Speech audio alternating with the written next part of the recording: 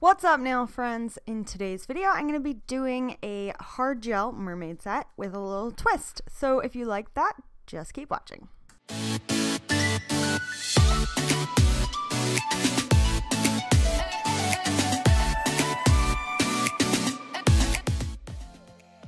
In this set I'm using Light Elegance Cool Gel with my Egoista brand oval gel brush and I've already removed her past set and prepped her nails and now I'm just coming in and doing a thin base layer.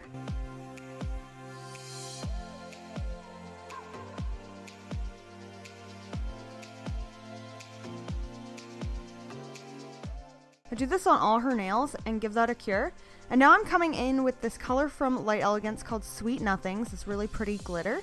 And I'm just applying this and I did switch my brush to the same brush, but it's my gel brush that I use for glitter and stuff. So make sure that if you're doing gel nails that you have one brush for clear and one brush for glitter. So then I'm coming in with these really pretty mermaid flakes. They're from Glitter Heaven Australia and they're called Mermaid Love. So I did not cure that wet gel from Sweet Nothings. I just went right in with the Mermaid Love onto that wet gel. I'm just trying to place them flat enough. They don't, it doesn't really matter. This is going to be covered by a stamp anyway. I just wanted a little bit of glitter in there.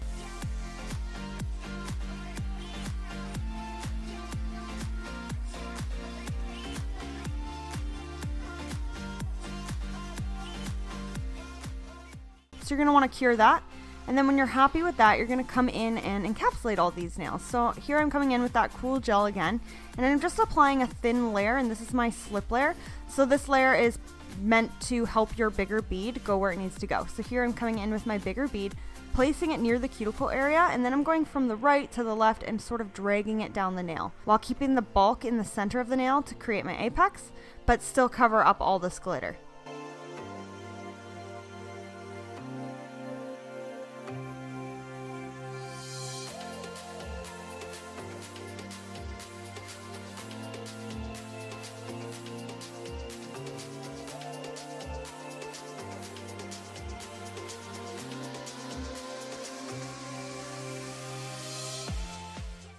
I've said it before in past videos, I really like Cool Gel. I find it really easy to use and it's also very nice for self-leveling and it's a great viscosity. So if you are trying hard gel, this is a great one to try. So here's how they look before I finish filed. And now I'm just coming in and cleansing all the nails. And then I'm coming in with a 180 grit hand file and hand filing all these nails. The Cool Gel is super soft, so it's really easy to file, so you don't really need to use an e-file at all. You can really just hand file, but whatever you want to do, whatever works best for you.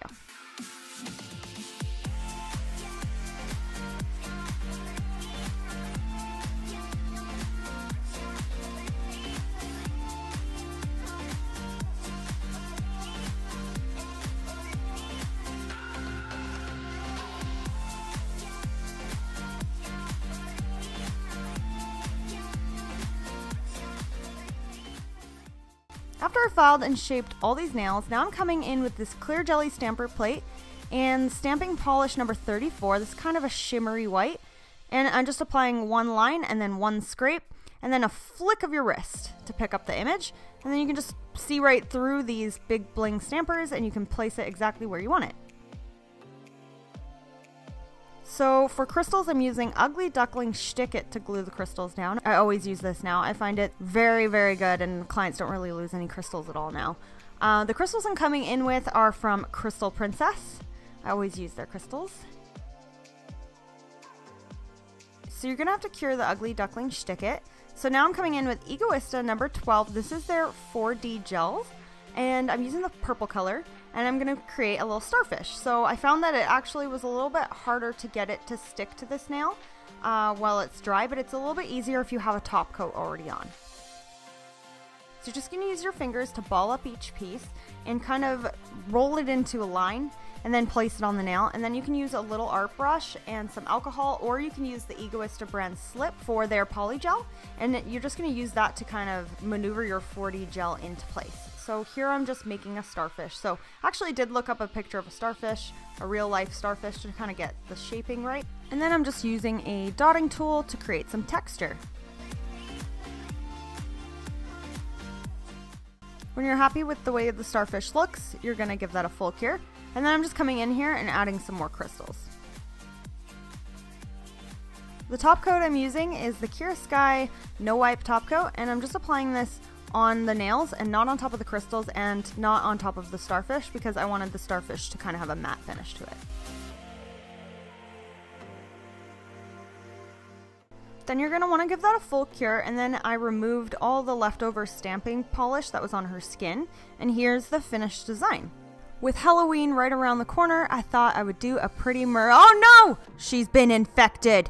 This beautiful mermaid has turned into a zombie. So I'm going to show you guys how to change your pretty mermaid design into a nasty zombie mermaid.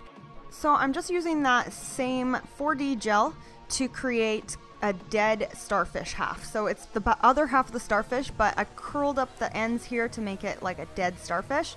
And I'm applying it the exact same way, but I did find it a lot easier to apply the 4D gels on top of already cured gel.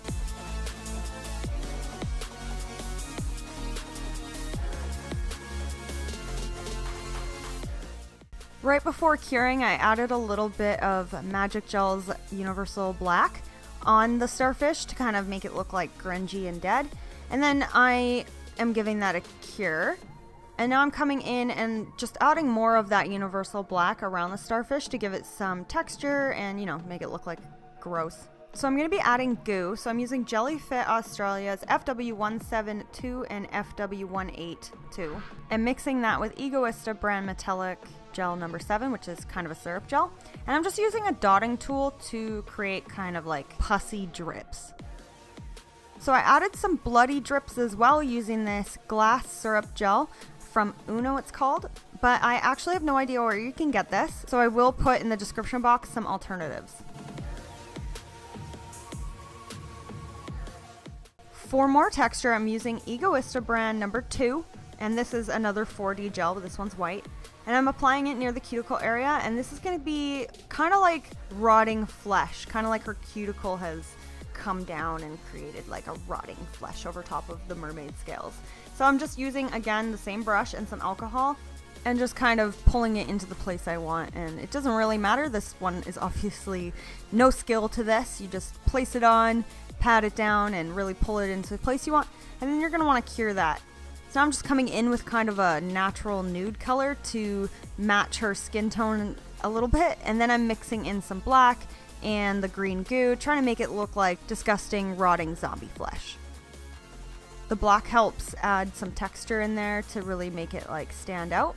And then I'm coming in and adding some blood and pus as well.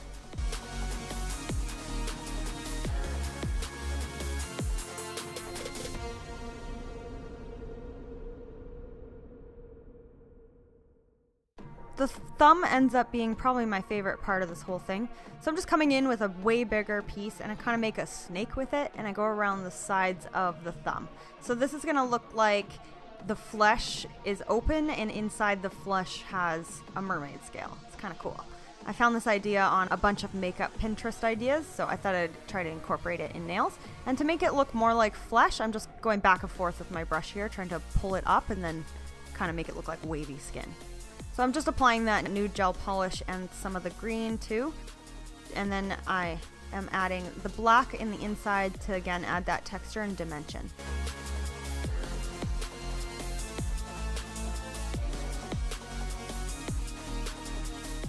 So you can clean anything up that you don't want with alcohol before curing. And then I'm coming in and adding some blood.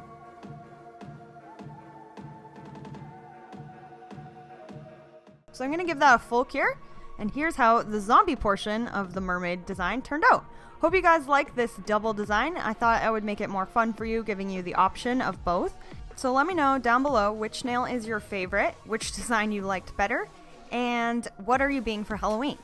Don't forget to check all my other Halloween videos for this year, and make sure you're subscribed to my channel and click the notification bell so that you never miss a video.